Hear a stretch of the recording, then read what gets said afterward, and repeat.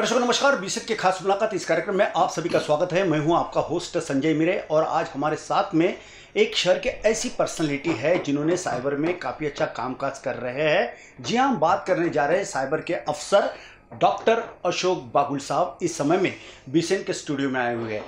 बागुल साहब, सबसे पहले आपका खास मुलाकात इस कार्यक्रम में हम स्वागत करते हैं। Thank you thank you Sanjay ji.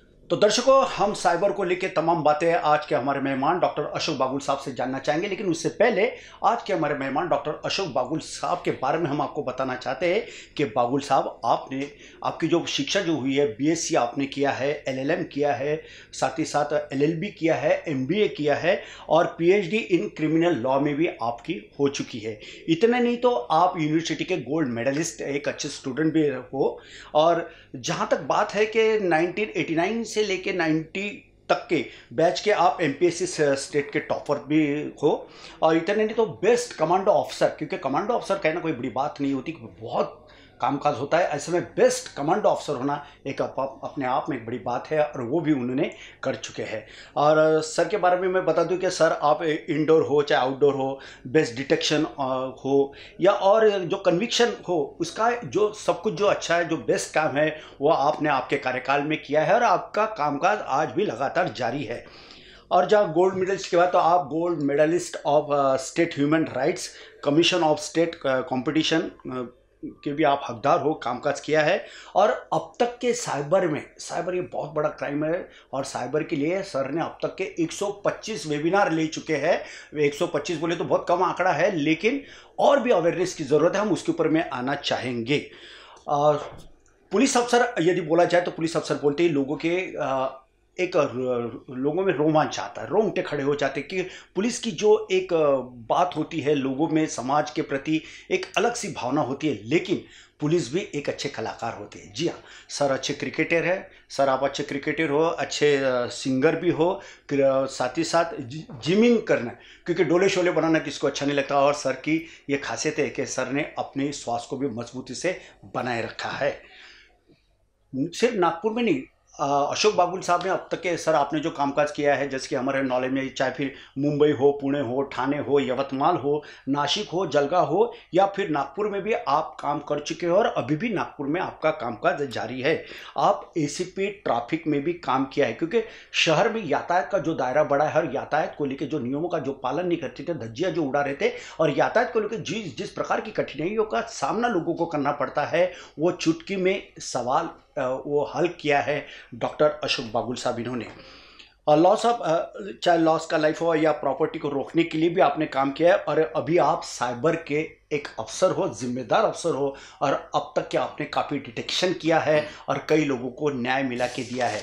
तो दर्शकों, ये था इनका परिचय। अब हम सीधा आज के पुलिस अफसर और ख़ास मुलाकात इस कार्यक्रम के आज के हमारे मेहमान अशोक बागुल साहब की ओर हम रुक करते हैं।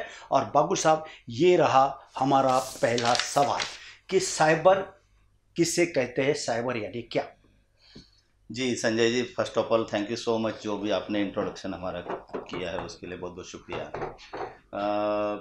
मैं इतना आपको बताना चाहूँगा कि साइबर क्राइम जो है, ये रिलेटिवली नया फिनोमेना है, क्योंकि ट्रेडिशनल क्राइम और साइबर क्राइम में बहुत सारे फ़र्क है। फॉर एग्ज़ाम्पल हर तरह का ट्रेडिशनल क्राइम जो कि रेप है मर्डर है एक्सटॉर्शन है डेपोटी है रॉबरी है किडनैपिंग है थेफ्ट है H B T whatever it is उसमें एक चीज़ इंपॉर्टेंट होती है कि क्रिमिनल को सीन ऑफ़ क्राइम पे विक्टिम के साथ हाजिर रहना ज़रूरी होता है फिजिकली जी। जो कि साइबर क्राइम में ज़रूरी नहीं है।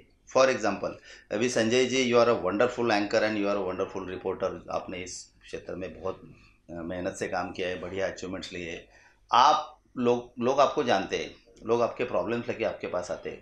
आप अगर सोशल मीडिया पे एक्टिव है जैसे कि फेसबुक का आपका अकाउंट है ट्विटर है व्हाट्सएप है इंस्टाग्राम है जो भी है तो साइबर क्रिमिनल्स क्या करते हैं कि वो पूरा स्टडी करके they will go through your profile and if they realise कि आप जैसे इम्पोर्टेंट व्यक्ति का फेसबुक अकाउंट डुप्लीकेशन करके या क्लोनिंग करके शायद लोगों को चीट किया जा सकता है तो बड़ी आसानी से कर सकते हैं। बट इसके लिए उस साइबर क्रिमिनल को आपको मिलना आपके पास आना फिजिकली हम्म। आपके करीब रहना ज़रूरी नहीं है। जी। That is the basic difference between cyber crime and traditional crime that cyber crime can be committed by any person who is sitting in the remotest corner of the world against any person who is sitting in the another remotest corner of the world. तो cyber crime का जो jurisdiction है जैसे कि army होती है military होती है वो युद्ध लड़ती है ज़मीन पे। जी। एयरफोर्स युद्ध लड़ता है हवा में। जी। नेवी युद्ध लड़ती है पानी में या पानी के ऊपर। साइबर वॉर साइबर युद्ध कहाँ पे लड़ा जाता है? बिल्कुल। इसका कोई जुडिक्शन नहीं है ये साइबर स्पेस में लड़ा जाता है। तो साइबर क्राइम ये रिलेटिवली नया फिनोमेना है बहुत सीरियस चैलेंज है। जैसे कि आपने बताया ये काफ़ी मात्रा में बढ़ चुका है। इसके बहुत सारे कारण हैं। तो सबसे इम्पोर्टेंट कारण ये है कि लॉकडाउन की वजह से लोगों को जो थोड़ा सा अनएम्प्लॉयमेंट हो या जैसे बोलते खाली दिमाग शैतान का घर। बिल्कुल। तो जिन जिन लोगों के पास नॉलेज है उन लोगों ने अनफॉर्चुनेटली अपने नॉलेज का अपने एक्सपर्टीज का अपने एक्सपीरियंस का अपने टेक्नोलॉजिकल एडवांसमेंट्स के जो भी उनके पास नज़रिए है उन सभी का अच्छे काम के लिए नहीं बल्कि साइबर क्राइम करने के लिए इस्तेमाल किया इसलिए साइबर क्राइम काफ़ी बढ़ चुका है। तो साइबर क्राइम को हम यही बोल सकते हैं कि एनी क्राइम an एक्ट और it's omission which is committed under the law in force at the time of commission of the crime is called as an offence ये कानून में अपराध की परिभाषा है। साइबर क्राइम की परिभाषा ये है कि कोई भी अपराध आप अगर संगणक के साथ इंटरनेट के साथ इलेक्ट्रॉनिक गैजेट के साथ या उसके इस्तेमाल से करते हो तो उसको साइबर क्राइम बोला जाता है। बिल्कुल तो किस प्रकार के साइबर क्राइम कहा जाता है इसके बारे में काफ़ी अच्छा एक्सप्लेनेशन इस समय में डॉक्टर अशोक बागुल साहब इन्होंने दिया। अब बागुल साहब मेरा दूसरा सवाल ये था कि जिस प्रकार से सेक्सटॉर्शन की बात हो या ब्लैकमेलिंग की जो बात हो या आर्थिक जो एक्सप्लॉयटेशन जो होता है वो कैसे किया जाता है? जी संजय जी फिर से ये बहुत अहम सवाल है। अ, हर का हर क्राइम का एक ट्रेंड होता है मोडस ऑपरेंडी होते हैं उसके डिफरेंट कैटेगरीज होते हैं उसके प्रकार होते हैं। जी। फ़िलहाल पुलिस का काम यही होता है कि आप क्राइम के ट्रेंड को जानो क्राइम के मोडस ऑपरेंडी को जानो क्रिमिनल्स की बारे में ज़्यादा जानकारी लो और उसको कंट्रोल करो। तो फ़िलहाल जो क्राइम ट्रेंड थोड़ा ज़्यादा टॉक ऑफ़ द टाउन बोल सकते हैं या थोड़ा सा ज़्यादा सीरियस हो रहा है वो है जो आपने बोला अभी इसको सेक्सटॉर्शन सेक्सटॉर्शन नाम का कोई टर्म कानून में नहीं है जिसको कि डिफाइन किया गया है। जैसे कि एक्सटॉर्शन है ब्लैकमेलिंग है किडनैपिंग वॉटर इट में भी सेक्सटॉर्शन को हम जनरली स्पीकिंग इस ढंग से एक्सप्लेन कर सकते हैं कि आपको ऑप्शन बातें जी। जिसमें कि option SMS hmm. Post chatting communication फिर वो पिक्चर्स के द्वारा हो वर्ड्स के द्वारा हो या वीडियोस के द्वारा हो या और किसी द्वारा हो। जी। इसका जब इस्तेमाल किया जाता है हम्म। और आपको एक्सटॉर्ट किया जाता है। जी। तो उसको सेक्सटॉर्शन बोल सकते हैं। अभी इसका मोडस ऑपरेंडी या क्राइम करने का तरीका ये होता है नॉर्मली कि या तो आप खुद हम्म। Dating websites there are many pornographic websites and dating websites available on internet now. सबसे पहले तो मैं आपके माध्यम से जनता को रिक्वेस्ट करूँगा कि आपको सिर्फ़ लिटरेट होना ज़रूरी नहीं है। Literacy in terms of ability to read and write is not enough for anybody to control cyber crime आपको साइबर लिटरेट होना ज़रूरी है। साइबर लिटरेसी से मेरा मतलब है आप इंटरनेट जो कि आज हर किसी के डेली लाइफ का एक बहुत अहम मुद्दा अहम अंग बन चुका है। यानी आपका ये कहना है कि साइबर लिटरेसी में समाज का हर जो तबका है वो कहीं ना कहीं विक्टिम दिखाई दे रहा है। बिल्कुल सही है। ये इसमें साइबर क्राइम किसी के भी साथ हो सकता है। जी जी। जो आदमी साइबर लिटरेट नहीं है जो आदमी साइबर सेफ़ नहीं है जी। उसके फिर वो कोई भी हो वो डॉक्टर हो इंजीनियर हो वकील हो जुडिशियल ऑफिसर हो सीनियर एडमिनिस्ट्रेटिव ऑफिसर हो पॉलिटिशियन हो इवन सब media man I am sorry आपको भी पता होगा कि आपके बहुत सारे दोस्त इसके शायद शिकार हो चुके बिल्कुल। होंगे या फिर हो सकते हैं। तो समाज का कोई भी तबका irrespective of caste creed religion categories financial status you know other status he can become victim of cyber crime unless he is cyber aware cyber literate and cyber safe sir ये तो बात ये होगी लेकिन जब सोशल नेटवर्किंग की बात आती है तो जो फेक अकाउंट जो बनाया जाता है और किसी के माध्यम से किसी को पैसे की डिमांड की जाती है तो यानी कहने का तात्पर्य कि जो एक अकाउंट जो होता है उसका हैकिंग भी किया जाता है। तो ये किस प्रकार की वो शक्ल लड़ाते हैं? देखिए गूगल जो है वो सर्च इंजन है। जी। बहुत सारे लोग यानी आप या हम अगर हमको किसी बात की इंक्वायरी करना है तो इमीडिएटली ये एक ट्रेंड बन चुका है कि यू गूगल करो गूगल करो गूगल करो। गूगल करो means what Google is an ocean of information it's an ocean of knowledge but how can we forget that the same platform same search engine has been used or is being used by most of the cyber criminals to commit cyber crime यानी Google पे अगर आप कोई customer care number ढूंढते हो जी जी तो आपको जो कस्टमर केयर नंबर मिलेगा उसकी ऑथेंटिसिटी कौन लेगा उसकी रिलायबिलिटी कौन लेगा उसकी अकाउंटेबिलिटी कौन लेगा अब गूगल का इसके बारे में कहना यह है कि they are they are publishing ads they don't verify whether the ads are being given by authentic people और नॉट ये बात ठीक नहीं इसके ऊपर। बहुत सारे लोग कोर्ट में गए हैं कोर्ट ने कुछ इसके बारे में डिसीज़न भी दिए हैं ऑनरेबल हाई कोर्ट ने वगैरह। बट अगर आपने गूगल पे कोई number customer care number search किया जी। तो वो नंबर अगर फ्रॉडुलेंट रहा see the people who are acting in this field are highly educated techno savvy ज़्यादातर टेक्नो सेवी होते हैं। वो प्रोफेशनल तरीके से काम करते हैं। बिल्कुल। तो वो अपना मोबाइल नंबर दे देंगे। हम्म, अगर आपने उस मोबाइल नंबर पे कॉल किया जी। तो they are trained enough to play psychological tricks with you यानी आपके दिल आपके दिमाग आपके माइंड के साथ वो लोग साइकोलॉजिकल ट्रिक्स खेलते हैं। क्या सवाल पूछना चाहिए तो सामने वाला क्या जवाब देगा? और उसमें से वो क्रिमिनल को जो जानकारी चाहिए। जी जी। May be in the form of personal information of identity proof Aadhaar card PAN card account number password CVV OTP PIN number या एटीएम नंबर जो भी जानकारी उसको चाहिए in order to commit financial fraud जो कि आपने पूछा है तो वो जानकारी बराबर ले लेते हैं। आपको बोलते हैं कि आप फला हम ऐप भेज रहे हैं उसको डाउनलोड कीजिए लिंक भेज रहे हैं उसको क्लिक कीजिए और कुछ कुछ एनी ऐप है या कुछ और ऐप्स है जी। उसको अगर आपने डाउनलोड किया तो आपका स्क्रीन शेयर होता है। हम्म, स्क्रीन शेयर हुआ तो ओटीपी भी शेयर होता है पासवर्ड भी शेयर होता है। उन लोगों को जो जानकारी नहीं मिलनी चाहिए वो मिल जाती है और आपके साथ फाइनेंशियल फ्रॉड हो जाता है। बिल्कुल और इस तरह से लोगों को कहीं ना कहीं बरगलाया जाता है उनका जो एक्सप्लोटेशन होता है और इस प्रकार की जो लूट होती है लोगों के साथ में जो धोखाधड़ी होती है वो इसी के माध्यम से होती है। ऐसे में लोगों में अवेयरनेस की बहुत ज़रूरत है। सर इसी को लेकर मेरा एक सवाल ये था कि जैसे फर्जी अकाउंट कितना घातक है इसके बारे में आपने बताया है लेकिन क्राइम को फिर रोका कैसे जा सकता है? इसके लिए लोगों ने क्या करना चाहिए? क्या कदम उठाना चाहिए? सबसे इम्पोर्टेंट सवाल है संजय जी ये। जी। हम कभी कभी देखते हैं कि यूट्यूब पे या सोशल मीडिया पे कोई वीडियो या कोई पिक जी। रातों रात सेंसेशन बन जाता है। बराबर। मिलियंस ऑफ़ व्यूज़ या। अच्छी बात है। वो वीडियोस या क्लिप्स किस चीज़ के होते हैं? नॉर्मली अगर आप देखोगे तो वो एंटरटेन से रिलेटेड ज़्यादा होते हैं। कोई सिंगिंग का वीडियो है कोई डांसिंग का वीडियो है million views etcetera etcetera but और इसमें एंटरटेनमेंट वैल्यू जो होता है वो शायद एक लेवल तक हो सकता है। लोगों को अच्छा लगता है तो लोग देखते हैं ये बात भी सही है।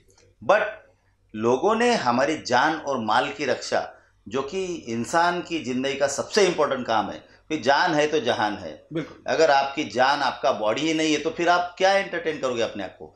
तो मेरी आपके माध्यम से जनता को ये रिक्वेस्ट है कि unless you are having information unless you are having knowledge unless you are aware about cyber crime and how to protect yourself I am sorry how can you enjoy life तो आपने जो पूछा उसका बिल्कुल important सवाल है उसका जवाब ये है कि लोग अपने आप को ज़्यादा से ज़्यादा अवेयर करें। अब वो कैसे अवेयर करें? जैसे आपका जो भी प्रोफेशन है, उस प्रोफेशन को, जैसे आप रिपोर्टर हो तो आपने रिपोर्टरशिप एक अच्छा रिपोर्टर अच्छा एडिटर बनने के लिए आपने बहुत मेहनत लिया है। आपने इस फ़ील्ड की ज़्यादा से ज़्यादा जानकारी ली है नॉलेज लिया है, आपको अवेयर किया है अपने आप को।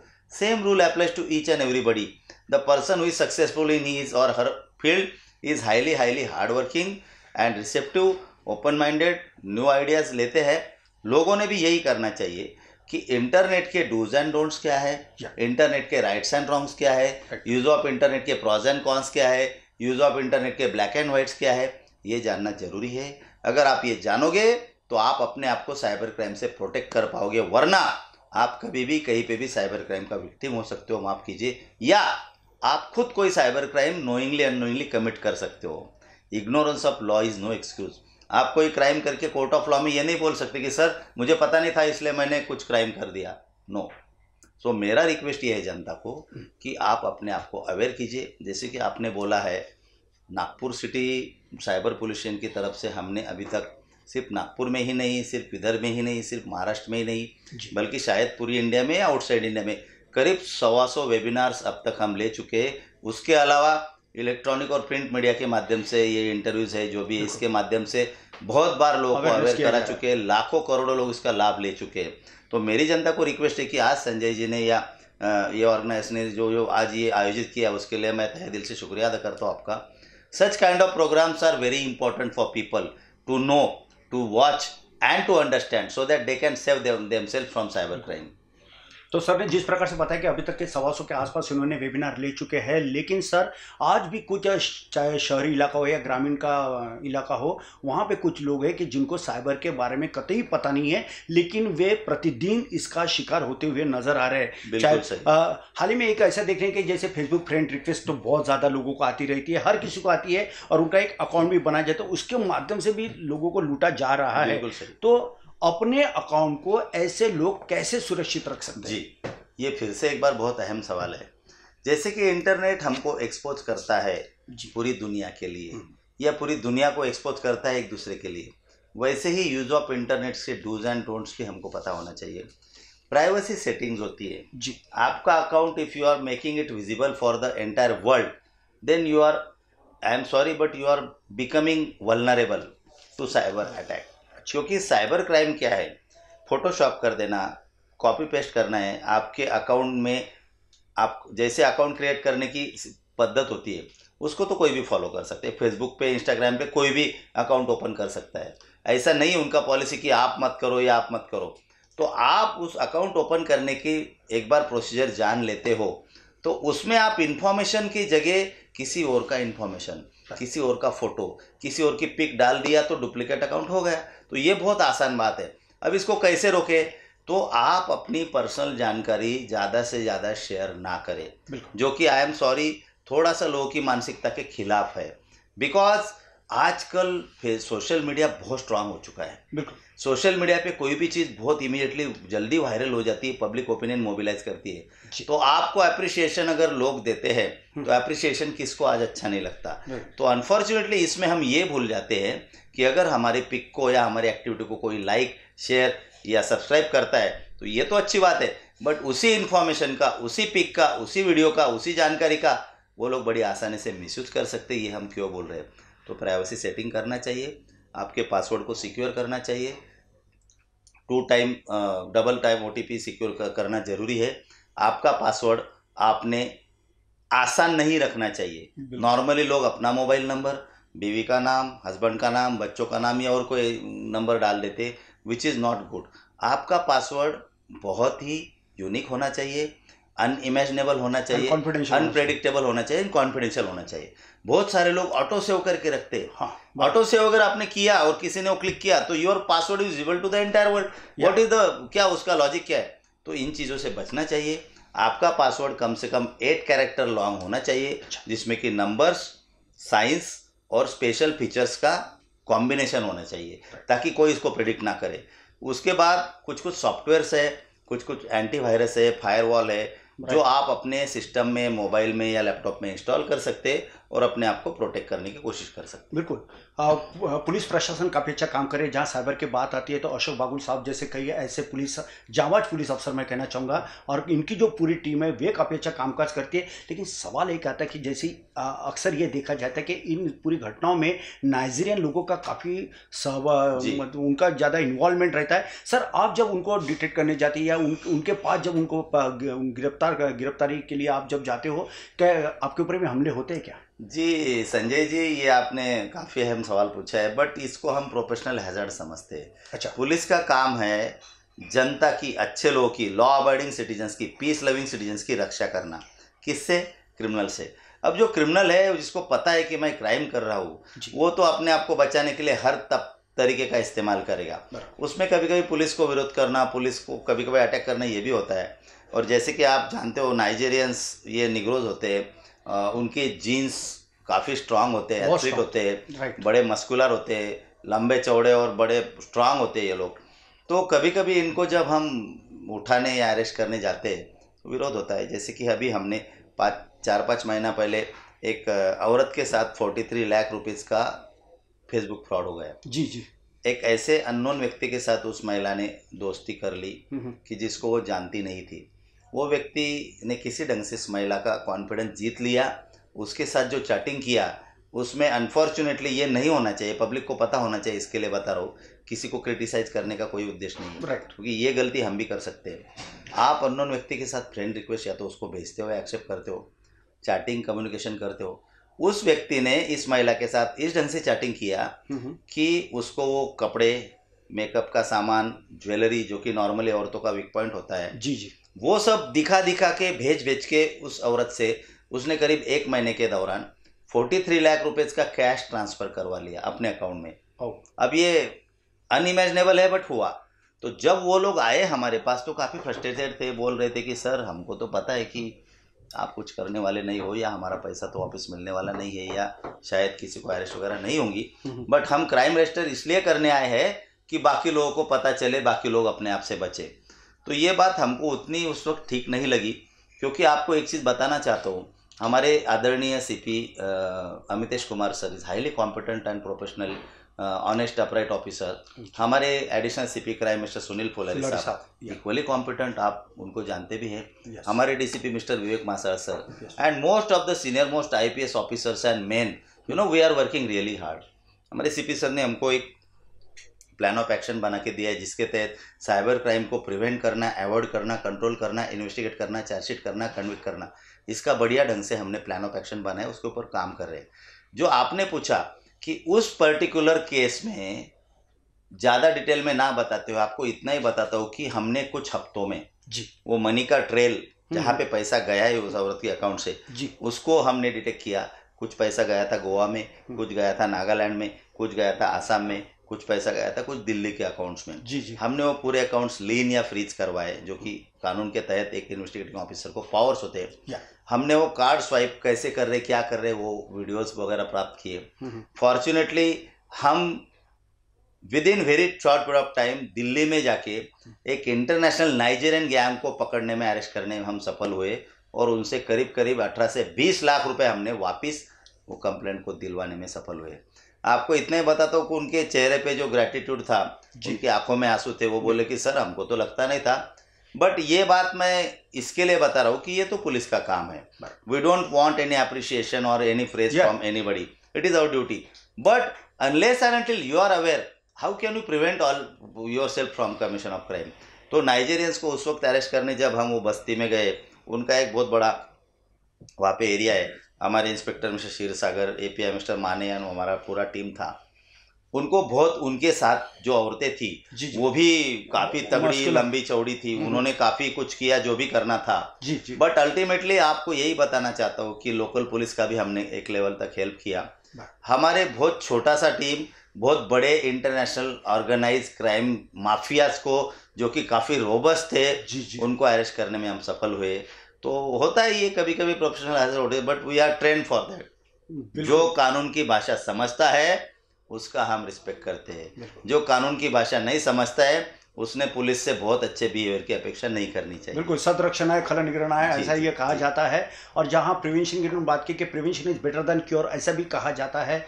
और आए दिन तो हम देखते हैं कि सोशल मीडिया के माध्यम से कई लोग ऐसे फर्जी अकाउंट के माध्यम से या फ्रेंड रिक्वेस्ट आने के ऊपर में अगली जो पार्टी होती है जो महिला होती है चाहे फिर कोई भी स्टेट की हो वो अपना सर अंग प्रदर्शन करती है हम्म। और अंग प्रदर्शन करने के बाद में वो ये जो पार्टी जो फ्रेंड जो बनाए जाते हैं उससे भी वो ये अपील करती है कि वो भी अ, कुछ जी, जी, जी। अपना शरीर प्रदर्शन करे अंग प्रदर्शन करे और ये अगर कोई एक दूसरे को ये प्रदर्शन होता है उसके बाद में होता है सही शुरुआत लूट की। और यही बात है कि लोगों को आज धड़ल्ले से लूटा जा रहा है। भारतवर्ष के कई राज्यों में राज्यों के कई शहरों में शहर के कई ऐसे क्षेत्र में आज भी धड़ल्ले से कई युवाओं को लूटा जाता है।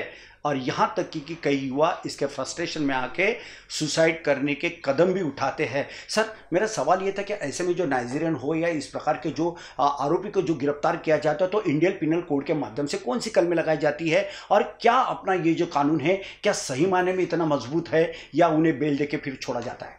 जी आपने बिल्कुल सही बोला Sanjay ji but see article twenty twenty one and twenty two of Indian constitution ji. Right to life and liberty liberty या प्रोटेक्शन अगेंस्ट डबल जोपार्डी हाँ। And natural justice of free and fair trial ये हर व्यक्ति के fundamental rights है guaranteed by the constitution of India right judiciary का जो मोटो है जैसे पुलिस का संरक्षण है खल निगरण है जैसे जुडिशरी का मोटो ये है कि 99 criminals if unfortunately they are set free ji doesn't matter but one innocent shall not be hanged यानी निष्पाप व्यक्ति को सजा नहीं होनी चाहिए और जिसने किया है कृत्य उसको based upon the quality of evidence उसको सजा होनी चाहिए। तो आपने जो बोला इसके लिए धाराएँ चीटिंग की धाराएँ 417 से लेके 420 या 406 से लेके बाकी सब सेक्शन से आईपीसी में जी। 467, 469, 70, 471, 472 criminal misappropriation cheating and fraudulent documents etcetera etcetera इसके साथ information technology act 2005 amended amended in 2008 इसके कुछ सेक्शंस 43 से लेके 74 या 75 तक जो भी सेक्शंस है जिसमें कि अलग अलग इंफॉर्मेशन टेक्नोलॉजी एक्ट का क्राइम जिसको कि हम जनरली साइबर क्राइम बोलते हैं जी। उसको डिफाइन किया गया है। ओके अब आप अगर देखें law of bails law of bails law of bails या उसमें यह लिखा गया है हम्म, कि bail is right jail is exception अच्छा। यानी हर व्यक्ति का जिसके ऊपर कोई ना कोई आरोप है हम्म, उसको बेल मिलना ये उसका राइट है। उसका राइट अगर एक्सेप्शनल केस है तो ही उसको जेल में भेजेगा जुडिशियरी ऐसा वो कानून में लिखा गया अब इसको कुछ कानून अपवाद है। फॉर एग्ज़ाम्पल मको का M C O C A prevention of atrocities against S Cs and S Ts act POCSO act कुछ अलग अलग कानून है जो कि स्पेशल कानून है जिसमें कि बेल का प्रोविज़न नहीं है। अब इंफॉर्मेशन टेक्नोलॉजी एक्ट इसमें बेल के प्रोविजंस है। हम्म, हम्म, जो कानून क्राइम होता है वो कॉग्निजेबल होता है नॉन कॉग्निजेबल होता है बेलेबल होता है नॉन बेलेबल होता है ट्रायबल बाय स्पेशल मैजिस्ट्रेट होता है। उसमें पनिशमेंट तीन साल से लेकर पाँच साल तक या ज़्यादा भी होती है। फाइन एक लाख रुपए से लेकर पाँच लाख रुपए तक या ज़्यादा भी होता है। आपने जो सवाल पूछा अगर किसी को पुलिस ने अरेस्ट किया है उसको कोर्ट ऑफ़ लॉ के सामने प्रोड्यूस किया है the honourable court of law will go through the procedure of the particular act and law अगर प्रोसीजर में लिखा है कि बेलेबल है तो उसको बेल देना ये उसका हक है।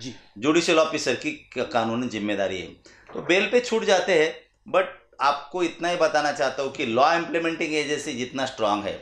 जितने legally procedurally lawfully and otherwise they are competent they are better place to control the crime and criminals तो हम हमारे सीपी सर ने हमको भी ट्रेनिंग दिया है। और हम बाकी पुलिस स्टेशन के ऑफिसर्स को ट्रेनिंग देते हैं। हम अपने आप को भी नॉलेज लेवल से अपडेट करा रहे हैं और पूरे नागपुर सिटी के सभी अभी हर पुलिस स्टेशन में लोकल साइबर सेल की स्थापना हमारे आदरणीय पुलिस आयुक्त सर ने की है।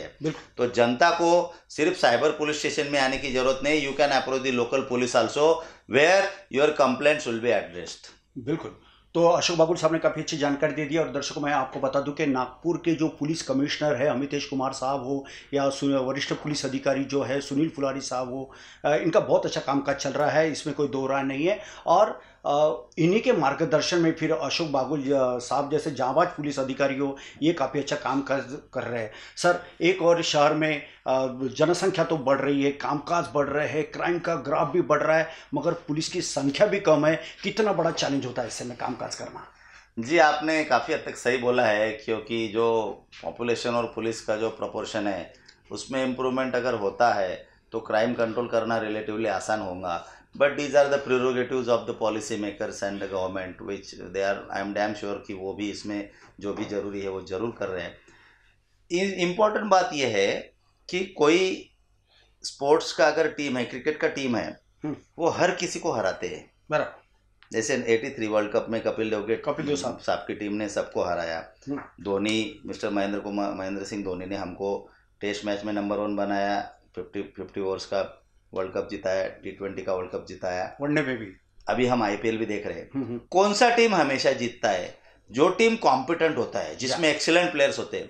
तो संख्या बढ़ाना मैन पावर बढ़ाना ये जितना ज़रूरी है उतना बल्कि उससे कई ज़्यादा ज़रूरी कि हम हमारा प्रोडक्टिविटी हमारा इफेक्टिविटी हमारा प्रोफेशनल कॉम्पिटेंस हमारा लेवल ऑफ़ नॉलेज हमारा physical mental intellectual legal spiritual emotional and other kind of competence हम अगर बढ़ाते हैं, पुलिस अगर बढ़ाती है तो पुलिस के जो सर्विस जनता को देना चाहती है पुलिस, उसके क्वालिटी में बहुत अच्छा इम्प्रूवमेंट आएगा।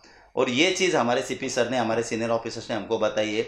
हम और हमारी टीम इसमें बहुत मेहनत कर रहे हैं और अच्छे रिज़ल्ट देने की कोशिश कर रहे हैं और अच्छे रिज़ल्ट आएँगे। बिल्कुल काफ़ी अच्छी जानकारी देते हो इन्होंने ये जो बात कही है इनके ऊपर से मुझे एक ही बात समझ में आ रही है कि मेथिल ऑरेंज मेथिल ऑरेंज का जो प्रॉपर्टी जो होती है कि वो भले एक बूंद अगर पूरे पानी के पॉट में यदि गिर जाए तो वो पूरा कलर में करता है।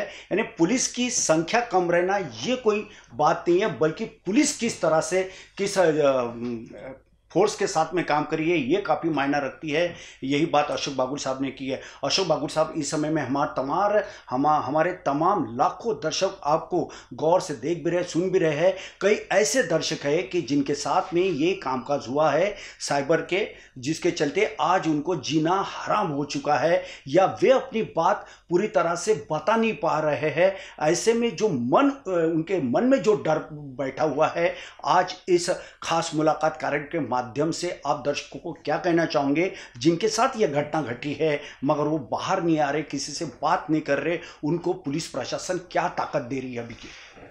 फिर से एक बार बहुत अहम सवाल पूछा है संजय जी आपने। आपके माध्यम से मैं जनता को इतना ही रिक्वेस्ट करना चाहता हूँ कि आपको डरने की कोई कारण नहीं है। आपको केयरफुल होना ज़रूरी है। क्योंकि डरने से प्रॉब्लम अगर सॉल्व होते हैं तो डरना बनता है। अगर आपके डरने से आपको खुद का बीपी बढ़ रहा है या लो हो रहा है आपका मेंटल इमोशनल या फ़िज़िकल बैलेंस ज़्यादा कम हो रहा है आपको तकलीफ़ हो रही है तो आप डर के क्या फ़ायदा होगा? You should be bold you should be confident you should be strong enough to withstand any kind of shock because life is full of ups and downs हर किसी की ज़िंदगी में उतार चढ़ाव होते हैं। शायद ही ऐसा कोई इंसान हमको मिले कि जो बोलेगा कि मेरी ज़िंदगी में कोई दुख नहीं है कोई गम नहीं है। और आयरनी ऑफ़ द फैक्ट ये है कि हर किसी को अपना दुख अपना प्रॉब्लम हमारे ऊपर आया संकट वो बाकी लोगों से बड़ा है ऐसा लगता है। कोई बात नहीं। मेरी आपको इतना ही रिक्वेस्ट है कि एक इंसान मंदिर में गया वो भगवान को बोल रहा था कि भगवान तूने मेरे ऊपर बहुत बड़ा अन्याय किया तूने मुझे इतना गरीब बनाया कि मेरे पैर में चप्पल तक नहीं। बड़ा नाराज़ हुआ दुखी हुआ कष्टी हुआ भगवान को कोसता हुआ नीचे आया मंदिर की सीढ़ियाँ चढ़ के नीचे आया। तो नीचे उसने देखा कि वो भिखारी जो बैठा है जो उससे पैसा मांग रहा है उसके तो पैर ही नहीं है। तो उसने बोला कि भगवान थैंक यू तूने चप्पल नहीं दिया मेरे को बट कम से कम पैर तो दिए. तो मैं आपके माध्यम से जनता को यही बताना चाहूँगा कि आपका दुख आपका संकट आपका प्रॉब्लम दुनिया में सबसे बड़ा नहीं है। हर प्रॉब्लम के ऊपर सोल्यूशन होता है। आपके साथ अगर जैसे संजू भाई ने बोला वैसे अगर कोई घटना हुई है डरने का कोई कारण नहीं। You be confident be bold be a balanced kind of personality approach police immediately आप पुलिस के पास जल्दी आइए पुलिस सक्षम है आपको मदद करने के लिए। हम हमारे यहाँ पे जो भी लोग आते हैं क्योंकि मेंटली डिस्टर्ब होते हैं फिजिकली डिस्टर्ब होते हैं कभी कभी किसी का फाइनेंशियल लॉस हो गया है कभी कभी किसी का कोई ऑप्शन वीडियो या पिक्स किसी हमारी माँ बहन का इंस्टाग्राम सोशल मीडिया पे आ चुका है बड़े डिस्टर्ब होते हैं। हम पहले उनको काउंसलिंग करते हैं। उनको पानी वानी पिला के उनके साथ बातें करते हैं उनको हम नॉर्मल करते हैं। उसके बाद इमीडिएटली हम उसका क्राइम रजिस्टर करते हैं। या जो भी कार्रवाई करने वो करते हैं। उसके बाद उसका इन्वेस्टिगेशन करते हैं उसके बाद उसका डिटेक्शन करते हैं उसके बाद लीगली जो भी एक्यूज है उनको हैरेस्ट करते हैं और उसके बाद चार्जशीट करते हैं so that they can be punished child pornography हाँ वो बहुत बड़ा मैटर है। जो कि एक बड़ा सेंसिटिव इशू है। या या दुनिया के बहुत सारे सो कॉल्ड डेवलप नेशंस में pornography and prostitution is a license business right हमारे देश में नहीं है। तो पोर्नोग्राफी शायद किसी देश में लाइसेंस बिज़नेस हो सकता है but child pornography is a crime all over the world तो चाइल्ड पोर्नोग्राफी में हमने नागपुर सिटी साइबर पुलिस ने पूरे स्टेट में सबसे टॉप का काम किया है। जी जी। हमने करीब 38 cases 38 cases we have registered till now जिसमें कि हमारे पास कोई कंप्लेनेंट नहीं है। हमको सिर्फ़ एक वीडियो क्लिप मिला है जो कि चाइल्ड पोर्नोग्राफी को उजागर कर रहा है। हमने उस वीडियो क्लिप का अध्ययन करके हम्म। खुद सरकार की तरफ़ से फिरियादी होके किसी को बुलाया नहीं कंप्लेंट देने के लिए खुद सरकार की तरफ़ से फिरियादी होके क्राइम रजिस्टर किए हैं हमने खुद इन्वेस्टिगेट किए हैं मैंने खुद उसमें बहुत सारे एक्यूज को अरेस्ट किया है और हमने खुद उनको चार्जशीट किया है कोर्ट ऑफ़ लॉ में। उसमें एक चीज़ आपको बताना चाहूँगा कि उसमें कुछ कुछ एक्यूज आरोपी माइनर है। बारह तेरह चौदह साल के बच्चे ये सब करते हैं। जी जी। तो मेरी आपके माध्यम से जनता को समाज को पेरेंट्स को टीचर्स को फ्रेंड्स को रिलेटिव्स को और सभी को ये रिक्वेस्ट है कि प्लीज़ आप एक दूसरे से प्यार से बातें करें। ये छोटे बच्चों को कॉन्फिडेंस में लेके उनके साथ प्यार से बातें करना इम्पोर्टेंट है। वरना मम्मी डैडी बहुत बिज़ी है बच्चे अपने आजकल ये ट्रेंड है बच्चा बहुत छोटा है वो रो रहा है ना माँ उसके हाथ में मोबाइल मोबाइल दे देती है। वो बच्चा मोबाइल लेके खेलने लग जाता है।